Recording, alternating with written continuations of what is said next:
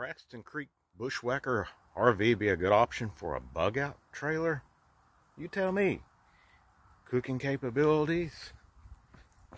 Small? Great sleeping capabilities? DC power? Good furnace? Low profile? Can really hide in a lot of places. So you tell me. Maybe just has another purpose more than just recreation. Maybe when SHTF really does hit, we can load this thing up and get the heck out of town. See you down the road.